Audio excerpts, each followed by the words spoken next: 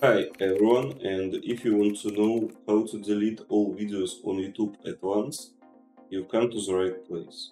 So what you need to do is just uh, not uh, trying to find something in your YouTube settings. You need to press on your account icon here and press on manage your Google account. After that, go to data and privacy and uh, here you need to scroll down a little bit and uh, find things you've done and places you've been.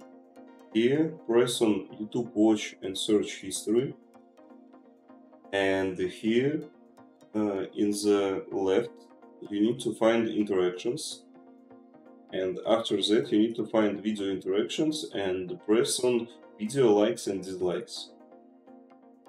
So now you can see that you have video you liked and you can see this cross icon. Just press on it and that's it. Your video likes and dislikes on YouTube video was deleted. I hope it was helpful for you. Thank you. Leave a like and subscribe.